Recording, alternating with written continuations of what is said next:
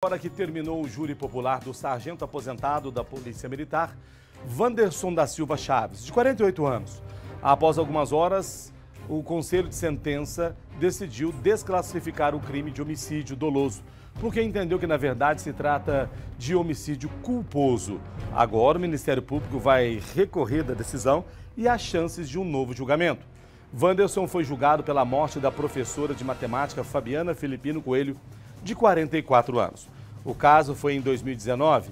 Ela foi baleada enquanto fazia compras no centro de Juiz de Fora. O tiro foi disparado pelo policial que tentava conter um suspeito de assalto. Vamos ver, balança aí.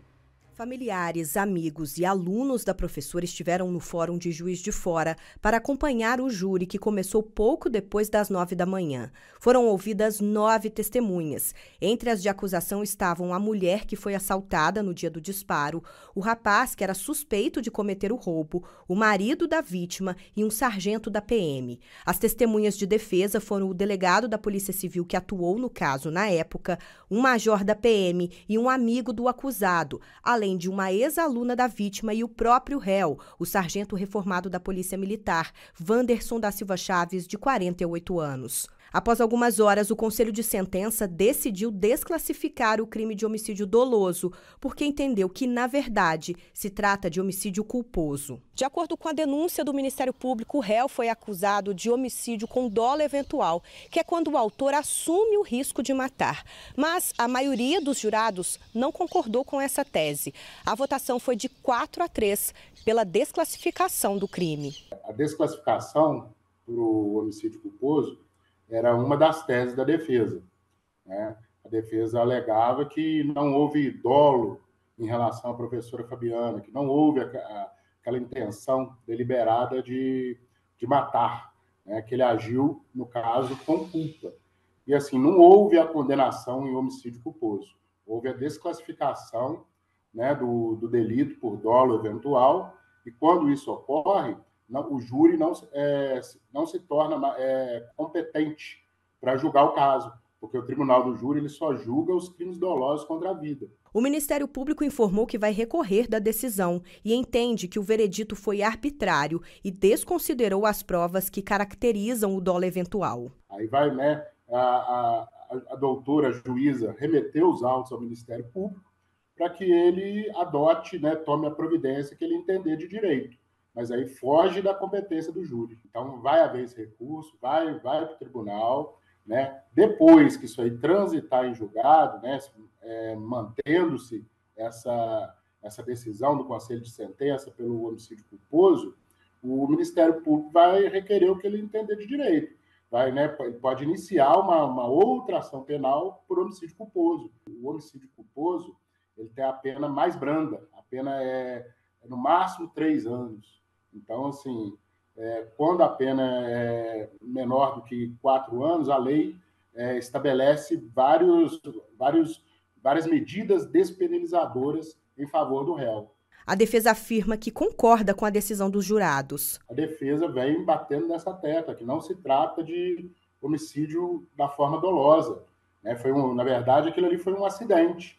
O, o réu tinha sido esfaqueado, estava com a filha no centro da cidade. Ele, o réu so, somente sacou a arma após ser esfaqueado. Ele não tinha. Ontem mesmo ele falou no seu interrogatório: eu jamais iria dar um tiro ali com aquele monte de gente ali, só que a situação fugiu de controle. Ter acertado a Fabiana, a professora Fabiana, foi um desfecho trágico que né, ele lamenta muito, nós também lamentamos, mas ele entendeu ali que ele não tinha outra opção a não ser reagir com o uso de arma de fogo para conter o menor, para que ele não fizesse uma, uma tragédia ali, pegasse algum, alguém como refém, esfaqueasse mais alguém. O caso foi na manhã do dia 20 de novembro de 2019, em Juiz de Fora. A professora de matemática Fabiana Filipino Coelho, de 44 anos, foi baleada enquanto fazia compras no centro da cidade. No dia em que tudo aconteceu, um adolescente de 16 anos corria em direção à rua Marechal Deodoro. A informação da época é que ele havia acabado de roubar 100 reais de uma pessoa que passava pela praça da estação. O sargento reformado tentou impedir a fuga do menor, que reagiu e tentou fugir. Câmeras de segurança registraram o momento em que a abordagem aconteceu. Durante a confusão, o policial foi esfaqueado.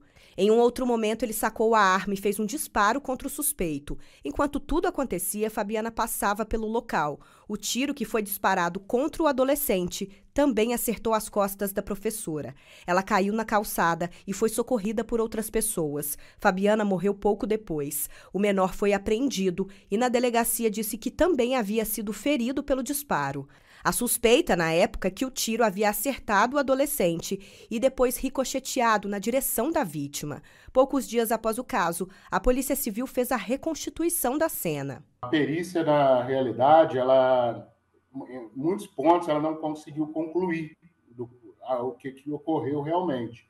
Há, de fato, indícios de, né, na, na perícia, porque eles pegaram o projetil que, que adentrou o corpo da professora e ele não tinha muitas deformações.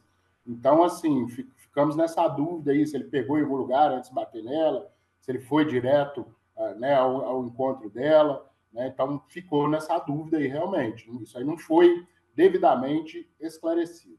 O adolescente envolvido nesse caso hoje é um homem de 21 anos. Ele está preso em Três Corações, no sul de Minas, por outro crime. Em relação a, a esse fato, ele, na, na ocasião, ele foi, é, ele foi internado né, no, no, centro socioeducativo, né, aqui em Juiz de Fora.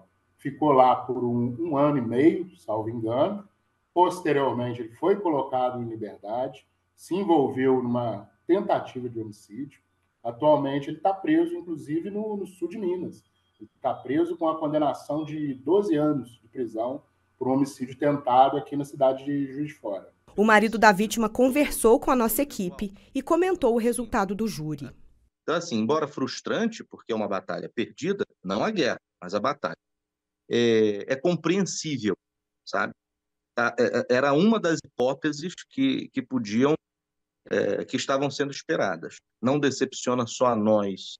A minha preocupação é por ter visto ontem o plenário do tribunal com muitos jovens né, que foram é, lá, alunos da escola normal, principalmente, quer dizer, é, frustra também a expectativa desses jovens, não é, pelo resultado do caso em particular, do caso da Fabiana em particular, mas a própria crença que esses jovens têm na justiça. Né? Então, quer dizer, o caso é emblemático nesse sentido também porque daria um alento, uma confiança nesses jovens, adolescentes, quase adultos, é, num sistema de justiça que privilegia a vida, né? que é, não leva é, em consideração as particularidades, certas particularidades do réu ah, para efeitos de que se faça essa justiça. Olha, nós vamos continuar acompanhando esse caso aí. E uma coisa que me chama atenção o menor, que é o bandido, né? O bandido, no caso, é o menor, que esfaqueou o policial e tinha roubado já 100 reais. Hoje ele já tem 21 anos, né, Michel Miag? Está preso, condenado a 12 anos de prisão. Está preso na cidade de Três, no presídio penitenciário, na cidade de Três Corações, no sul de Minas, por esse homicídio, por um outro homicídio tentado, por um homicídio tentado na cidade de Juiz de Fora, né? Você vê que foi internado num, numa localidade né, socioeducativo, num lugar onde para tentar melhorar esses jovens, e não adiantou de nada para ele. Né? Continuou bandido da pior qualidade e aí hoje se encontra preso e condenado, segundo disse ali um advogado, a 12 anos de prisão no presídio ou penitenciária na cidade de Três Corações. Nós vamos continuar acompanhando esse caso e sempre trazendo informações aqui para você, tá bom?